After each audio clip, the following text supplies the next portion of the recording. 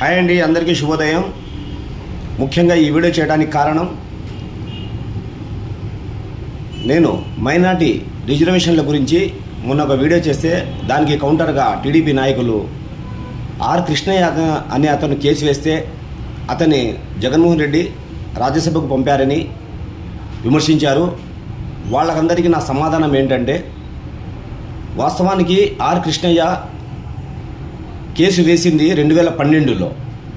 తర్వాత రెండు వేల పద్నాలుగులో జరిగిన ఎలక్షన్లలో రాష్ట్రం విడిపోయినప్పుడు తెలంగాణ నుంచి ఏకంగా టీడీపీ సీఎం అభ్యర్థిగా ఆర్ కృష్ణయ్యని చంద్రబాబు నాయుడు ప్రకటించారు. అంతేకాకుండా ఎల్బీ నగర్ నుండి అతనికి ఎమ్మెల్యే టికెట్ ఇచ్చి అక్కడ నిలబెట్టడం కూడా జరిగింది. దీన్ని బట్టి మనం అర్థం చేసుకోవచ్చు మైనార్టీల ద్రోహి ఎవరు అని.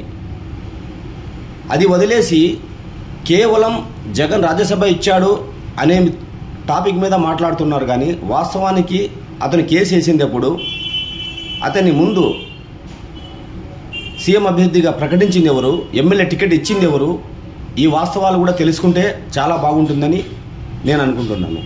తర్వాత మొన్న మేనిఫెస్ట్ ఇచ్చారు చంద్రబాబు నాయుడు గారు. తనంటే ఏదో గెలవాలనే ఆరాటంలో లేనిపోనివన్నీ చెప్తున్నారు. కనీసం లోకల్ నాయకులకైనా కొంచెమైనా తెలివిగా ప్రవర్తిస్తే బాగుంటుందని నా విన్నపం. ఎందుకంటే దాన్ని మీరు ప్రజలకు తీసుకువెళ్ళాలనే మీ ఆరాటం చూస్తుంటే నిజంగానే జాలేస్తుంది. ఒకవేళ మీరు దాన్ని ప్రజల్లోకి తీసుకుని వెళ్తే రేపు కర్మకాలి మీ ప్రభుత్వం అధికారంలోకి వస్తే ఆ పనులు చంద్రబాబు నాయుడు చేయకపోతే మీ పరిస్థితి ఏంటి అని అడుగుతున్నాను. నికాడ్సైన నాయకులని మీరు చెప్పుకుంటారు కదా? దాంట్లో ఉదాహరణకు ఒకటి చెప్తాను. ఎస్సీ ఎస్టీ బీసీ మైనారిటీలకు యాభై ఏళ్ళకే పింఛన్ అంటున్నారు. అంటే దాన్ని బట్టి యాభై ఏళ్ళకు పింఛన్ అంటే నాకు కూడా పింఛన్ వస్తుంది.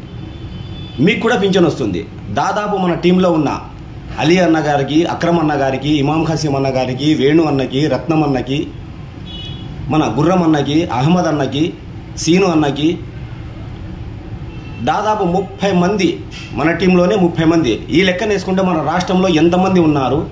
వాళ్ళకందరికీ యాభై ఏళ్ళకి పింఛన్ ఇవ్వడం సాధ్యమేనా?